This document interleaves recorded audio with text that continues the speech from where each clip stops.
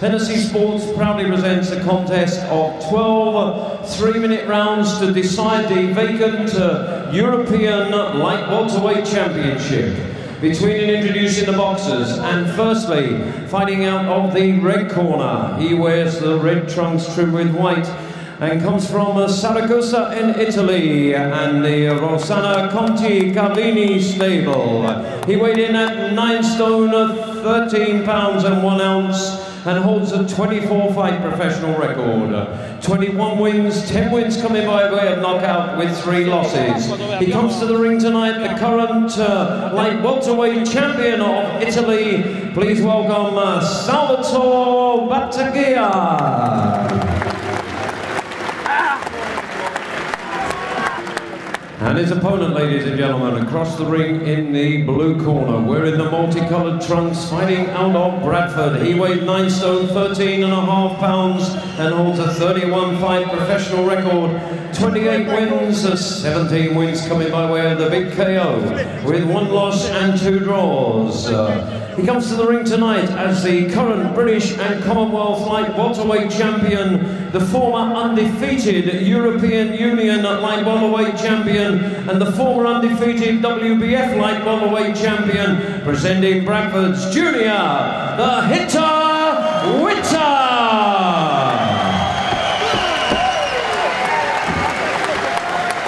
referee in charge of the action, Mr. Daniel from uh, uh, Belgium, will now give his instructions to both boxers.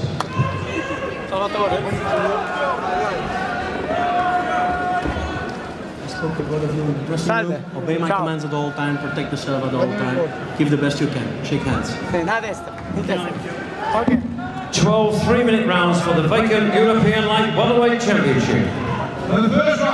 And the man coming out of the red corner from uh, Syracuse in Italy, the 30-year-old Salvatore Battaglia, lost some uh, 16 months ago in a split decision in Germany to Oktay Urkal.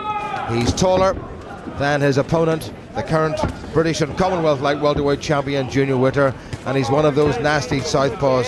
Both of them 30 years of age. Witter, much more experience, having been a, a world title challenger, and this is his 14th contest since he lost in a perhaps ill-advised challenge to uh, one of the greats of the modern era, Zab Judah.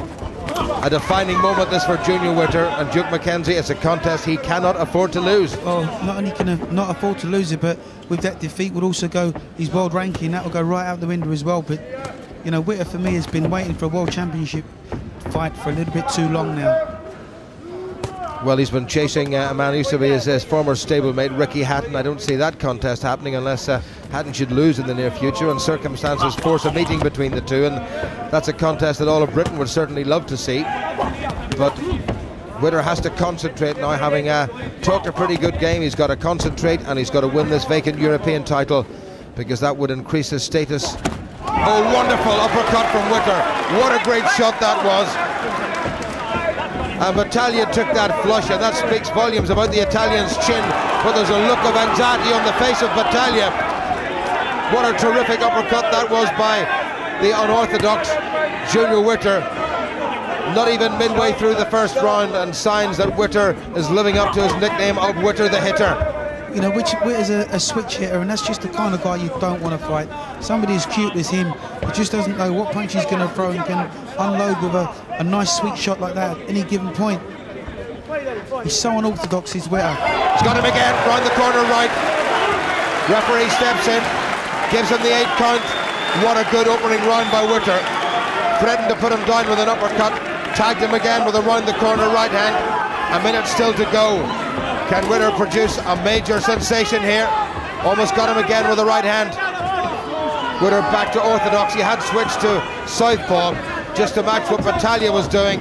And the anxiety is picked out in stark relief now in the face of Salvatore Battaglia. Witter again goes southpaw. And Battaglia is in a bit of trouble. Wonderful left hand. This is excellent from Witter. I you, this has got a world-class performer in front of him and he's just dismantling him at will. He really is which is going to really make a statement if he can nail this guy in the first round to the rest of the light welterweights in the world. That includes Ricky Hatton, that he's ready for his shot. Well, the judges from Luxembourg, Spain and France might not be needed. There's a bit of a nick underneath the right eye of Salvatore Battaglia. who's looking very, very wobbly indeed. And Witter threatened to uh, get rid of him in the first round. What an opening three minutes by Junior Witter.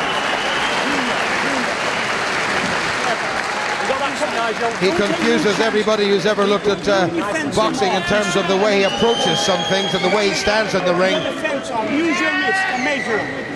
But Brendan Ingle and Dominic Ingle and John Ingle, the Ingle family, will be hugely pleased.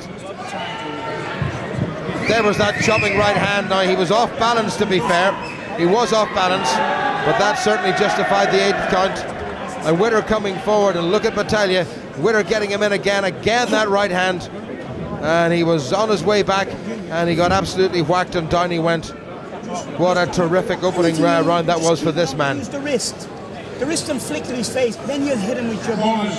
The beautiful right uppercut. Do you understand? You left two, but then spin out off him.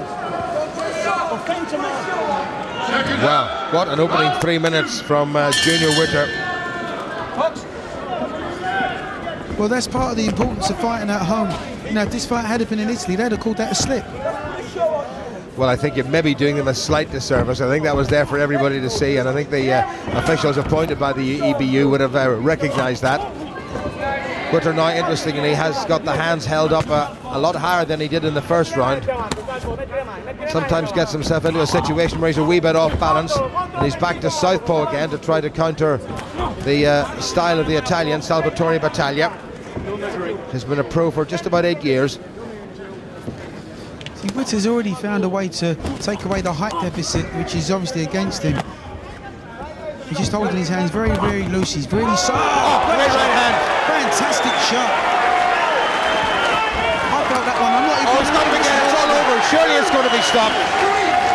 The first shot, Witter was actually off balance. He was moving away from Battaglia when he landed with that right hand.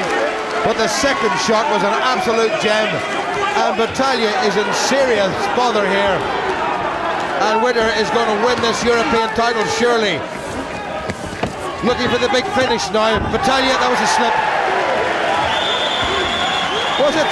Well, I thought that was a slip. I didn't see the shot landing. Battaglia landed in the seat of his pants, and Witter has won it in spectacular style with just about a minute gone in the second round. Unbelievable.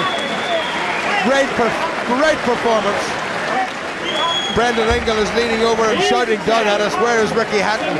I'm afraid, dear Brendan, I cannot answer that. But uh, we know where Junior Witter is, and that's right at the top of Europe at the moment.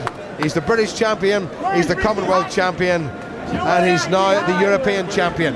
What a spectacular finish in just the second round. And from the moment he landed with the right uppercut in the first round, you felt that Witter was going to win this well inside the distance, and that's how it turned out. Well, look at Witter, unorthodox as ever. Wonderful slicing right hand, and he was moving backward when he threw that shot. Battaglia trying to kid on that it was a slip, it certainly wasn't. Second one coming up, look at the looking. Battaglia's face, really looking anxious. Run the corner, caught him on the temple. Away he went. Had to hold on for all he was worth. Battaglia doing his very best to come back. Well, I was right, I think, because that just grazed him and no more. There wasn't any contact, but down he went and the referee stopped it. And ladies and gentlemen, after 1 minute and 18 seconds of round two, the referee has stopped the contest. The winner by TKO and the new light welterweight champion of Europe, Junior the Hitter Witter. Junior, you've been waiting for the chance to showcase what you've got. Tonight it came.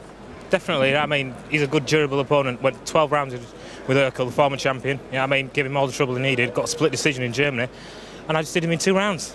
I mean, was the plan to jump on him early? The plan was to just see how it goes. Um, I went out, and as soon as the power started landing, I realised I could land it, and it was hurting him, so just went with it. Every time you step into the ring, the name of Ricky Hatton is mentioned. What's your message? Bring it. You say you're not happy with Frank, step up. BBC will do it. I know I'll do it. My team behind me will do it. NSC will put it on, and I'll, I'll destroy you. But that will be a very different proposition. Oh, yeah. But everyone's tough, you know what I mean? He's a well, world ranked opponent. I mean, he's, he's known throughout the world. Ricky's beat up a lot of domestic fighters throughout the world. He's picked domestic fighters from all over different scene, and he's beat them up. He hasn't beat a true world-class opponent for me, an active, physical uh, person who's on the game. I've done that, yeah, and I'll do it again. And I will just move on. I've got the European, British Commonwealth, and European. I think there's about eight people in history have ever done it and had them all at the same time. And that's me, and I'm one of them. You know what I mean? That's how good I am. The whole, the hard, the whole way, the hard way. Just need the opportunity to fight. I mean, showcase my style. As long as I get it, I'll produce the goods. You've become known as somebody who's been avoided by the big names. I mean, from your position and where you stand, how much of a chance is there of the Hatton fight happening? Well, there's every chance if he wants to leave Frank, or if Frank wants to put it on. I mean, we've I signed a deal, and I know I can get that fight whenever I want it. You know, what I mean, there's no con- there's no contracts what stops me from having that fight. There's only him. There's only him stopping that fight happening. I know that when I get in the ring, whoever's in front of me, I will destroy. 14 on the spin, I ain't gone past five. Are you happy to go to Manchester for the fight? I've got a Timbuktu. I don't care. I box in Manchester. You know what I mean? I don't care where it is. If it's America, if it's Canada, if it's the North Pole, I'll do it and I'll come out victorious.